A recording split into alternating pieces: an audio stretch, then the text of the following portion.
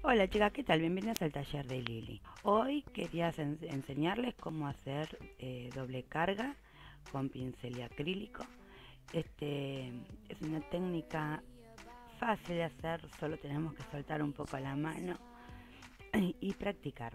Eh, pueden practicar en una placa de radiografía como para poder ir borrando y volver a hacer como es plástica o acetato uno lo puede pasar un trapito e ir borrando. Son estas pinceladas, son onditas que vamos a ir superponiendo para formar una rosa. Esto quiero que, me gustaría que lo practiquen porque después lo vamos a hacer en la hoja. Cuando lo hagamos en la hoja va a ser un pincel más chico, yo en este caso estoy usando un pincel angular número 14 sobre una placa de fibro fácil pintada en color negro para que ustedes lo puedan ver pero pueden usar, como les dije, la placa de radiografía y pueden este, usar, si no, una hoja color negra.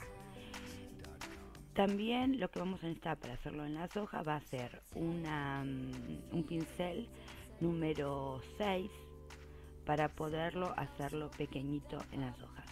Así les muestro la técnica que tengo pensada para hacer un mini álbum muy pequeño sino para poder hacer algo desde cero realizado por nosotros. Bueno, a practicar. En el próximo video vamos a comenzar a preparar las hojas. Vamos a intentar hacerlo el jueves, a ver si subo el video. Y ya vamos directamente a pintar las hojas. Vamos a utilizar para ese trabajo tinta Distress este, en color rosa y en color eh, un verdecito que a ustedes les guste. Siempre digo que a ustedes les guste porque lo que cada uno tenga, tenga en su casa.